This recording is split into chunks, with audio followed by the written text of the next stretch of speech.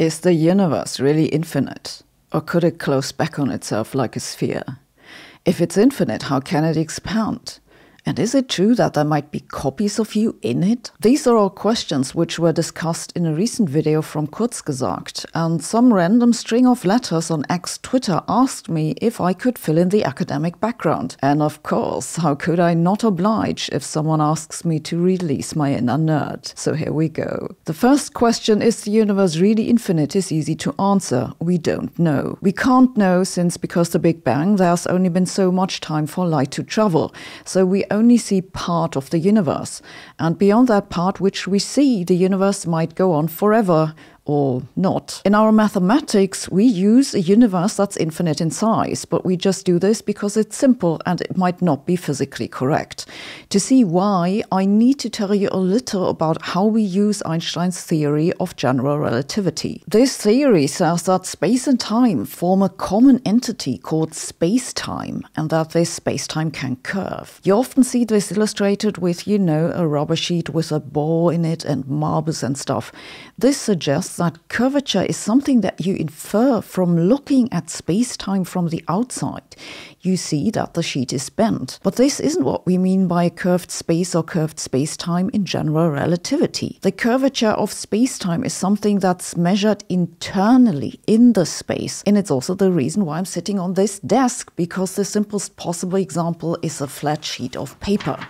Exciting, I know, but bear with me. How do we know the paper's flat? Easy enough. You draw a triangle on it, and then you measure all the interior angles and add them up. If they add to 180 degrees, no matter which triangle you draw and no matter which size, the space is flat. Homework assignment, draw all possible triangles on a sheet of paper and prove that it's flat. The thing is though that the angles of triangles don't always add up that way. Take for example a sphere. In an extreme case, you can draw a triangle by following the equator, turn 90 degrees, go to the North Pole, turn 90 degrees, go back to the equator, and turn 90 degrees back onto the equator. Now you have a triangle with three 90 degree angles, that's 270 degrees in total. Yes, you already knew that a sphere isn't flat, but the point is that you don't need to be able to look at the sphere from the outside. You can infer its curvature entirely from measurements on the sphere. When it comes to the curvature of space and time, it's the same thing. We say they're curved because of properties that we measure entirely on the inside.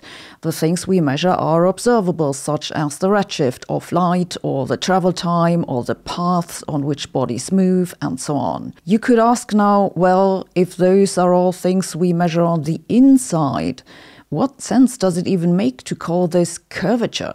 Couldn't we just say that space-time is flat, just that these observables have difficult relations that are mediated by some sort of field? Indeed, this is a valid interpretation of the maths, that you refuse to give this a geometric interpretation and instead just say gravity is determined by some sort of complicated field. This is why Steven Weinberg, in his book on general relativity, famously refused to use a geometric interpretation. You don't need it.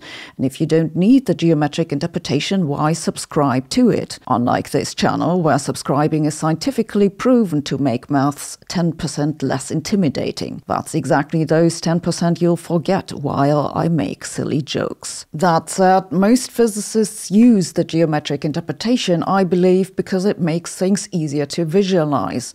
Either way, the relevant point is that general relativity is entirely about what happens inside of space-time. This also answers the often asked question if the universe expands, then what does it expand into? The answer is that that's a meaningless question because if we say that the universe expands, we're really just talking about the relations between things inside the universe.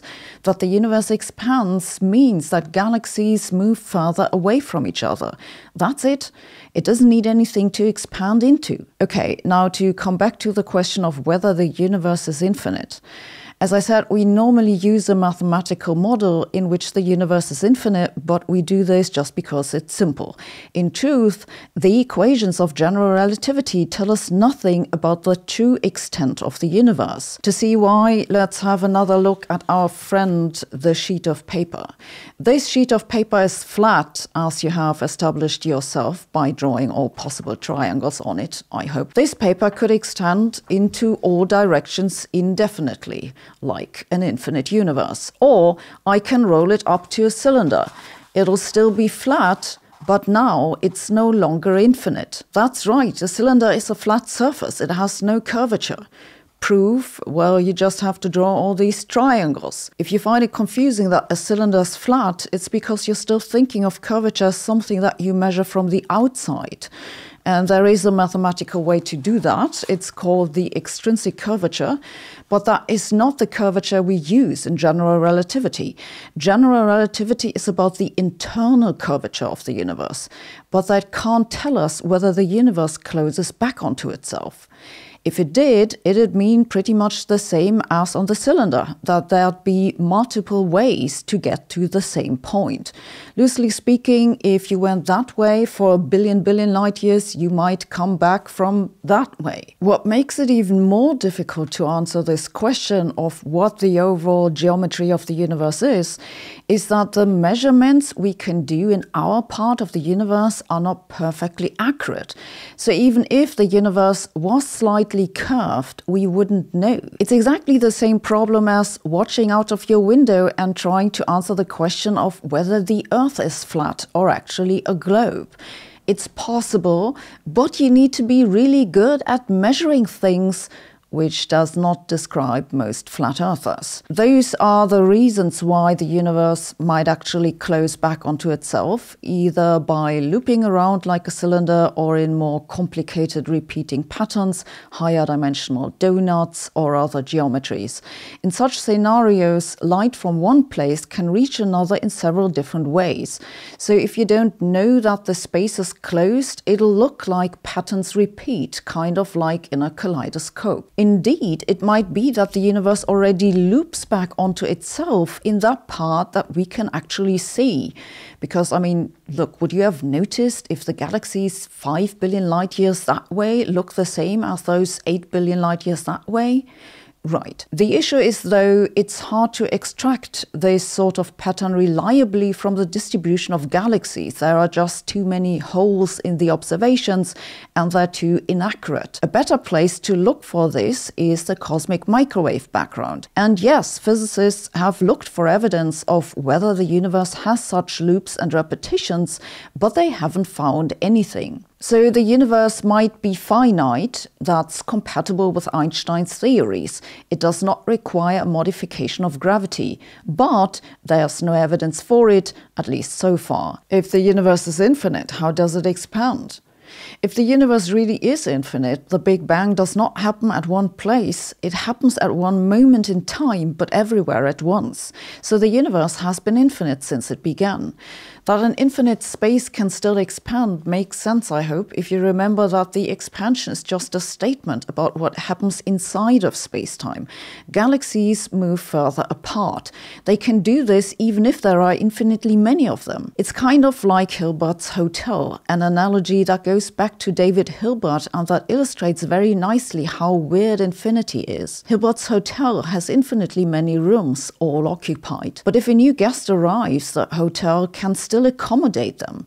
They just have to move everyone who has already checked in into the next room first guest to room two, second to room three, and so on. So now there's one room free. They can even accommodate infinitely many more guests. They just move all the current guests to room number twice their current room. Then all the odd numbered rooms are free and infinitely many new guests can move in, but only after they sign up to the rewards program. Mathematically, this just means that infinity plus one is still infinity and infinity times two is also still infinity. If space-time is really infinite, then that has the odd consequence that every possible configuration of matter appears infinitely many times.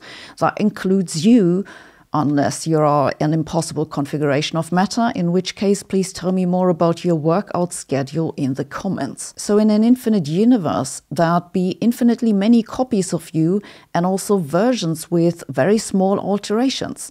Somewhat more hair, somewhat less brain, a physics degree or a desire for mathematical self-torture, but then I repeat myself. It's not a new insight. To my best knowledge, it was first discussed by George Ellis and Graham Brundrit in 1979. George Ellis, by the way, is one of the people who I interviewed about the multiverse for my first book. That an infinitely extended universe would have infinitely many copies of each of us is often considered the simplest and least controversial type of multiverse. By the way, this video comes with a quiz on Quiz with It to help you remember what we talked about. My team and I developed this website ourselves, and you can now also create your own quizzes there using AI.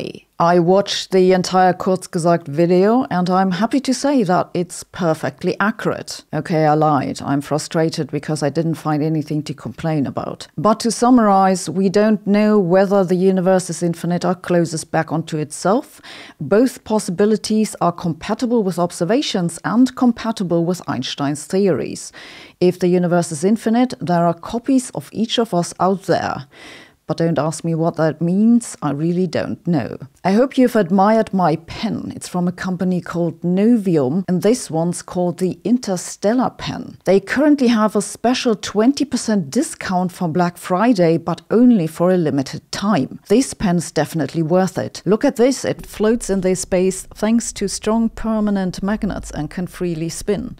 And not like the thing drops out when you cough, it's really well balanced. And the hover pen doesn't just look good, it's also a pleasure to write with. It flows nicely across the page and it's refillable too. Novium has a variety of these hover pens, but the Interstellar pen is the coolest. It has a premium version with a meteorite embedded. Yes, a real meteorite, so there's part of your pen that actually flew through outer space. I found the Novium pens to be the perfect combination of design and functionality. And they also make great gifts. If you go check them out, make sure to use my link or code Sabine, which you also find in the info below.